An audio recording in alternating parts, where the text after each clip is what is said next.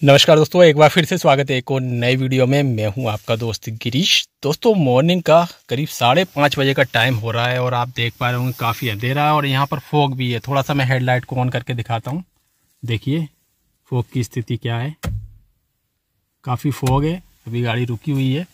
अभी मैं ड्राइव करके आ रहा था तो काफ़ी ज़्यादा फोग हो रहा था। तो आज का जो वीडियो है दोस्तों, इसमें मैं आपको बताने वाला हूँ कि विंटर के सीज़न में हीटर का यूज़ किस तरह से करना है।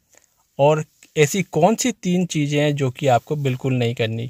यानी तीन पॉइंट आपको बताने वाला हूँ, तीन टिप्स देने वाला हूँ हीटर का यूज़ करते समय। तो चलिए दोस्तों वीडियो को स्टार्ट कर लेते हैं। सबसे पहले तो आपको मैं बता दूँ हीटर सिस्टम गाड़ी में या फिर एसी सिस्टम गाड़ी में दो तरह का होता है। यानी जो क्लाइमेट कंट्रोल है, वो दो तरह का होता है, एक मैनुअल और एक ऑटोमेटिक यहाँ पर आप देख पा रहे हो हमारी गाड़ी में ऑटोमेटिक एसी दिया गया है। जितना हम टेम्परेचर सेट करेंगे उतना ही टेम्परेचर केबिन में ये मेंटेन करके चलेगा। जिस तरह से हम घर का एसी यूज़ करते हैं टेम्परेचर सेट करके छोड़ देते हैं तो एसी अपने आप ही उतने ही टेम्परेचर को मेंटेन करता है रूम के। उसी तरह से ये केबिन के टेम्परेचर को मेंटेन करके चलता है। लेकिन अगर आपकी गाड़ी में मैनुअल एसी है तो आपको थोड़ा सा जो है ताम जाम ज़्यादा मिलेगा।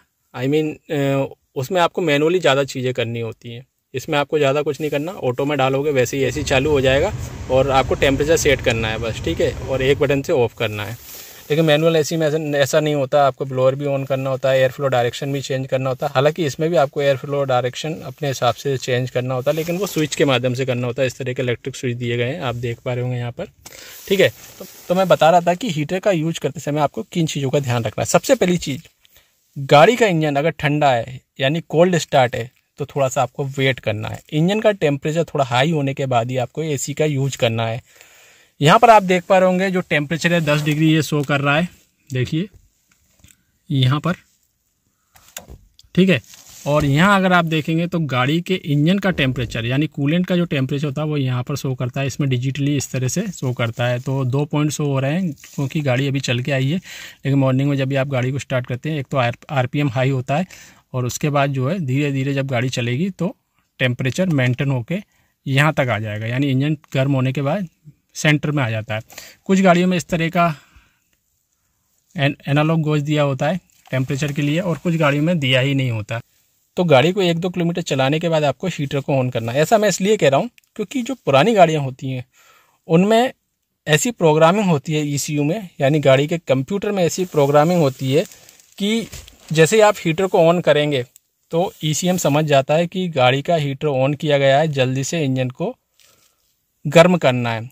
क्योंकि हमारी गाड़ी का जो हीटर होता है, वो कूलेंट से काम करता है। इंजन के अंदर सर्कुलेट होने वाला जो कूलेंट होता है, वो इंजन के कारण गर्म हो जाता है। गर्म इंजन के कारण वो गर्म होता है और उस गर्म कूलेंट से ही हीटर सिस्टम काम करता है। तो जब तक कूलेंट गर्म नहीं होगा, तब तक हीटर सिस्टम काम नहीं करेगा।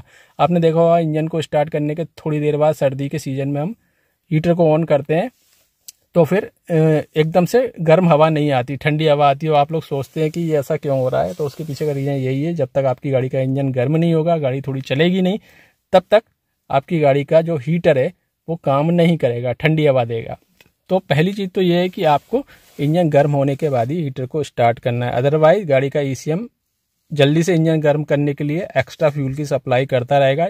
इससे क्या होगा कि आपका एक्स्ट्रा फ्यूल थोड़ी देर के लिए बर्न होगा और जैसे इंजन का टेम्परेचर हाई हो जाएगा, उसके बाद जो फ्यूल की सप्लाई है ईसीएम नॉर्मल कर देता है। लेकिन अगर आप नॉर्मल कंडीशन में गाड़ी चलाते हैं, यानी कि आपने हीटर को ऑन नहीं किया, थोड़ा एक दो किलोमीटर गाड़ी चला ली, इंजन गर्म हो गया, आपने देख लिया यहाँ पर टेम्परेचर जो है सेंटर में आ गया या एक दो पॉइंट बढ़ गया है तो फिर जो है आप हीटर चला सकते हैं, पहली चीज़।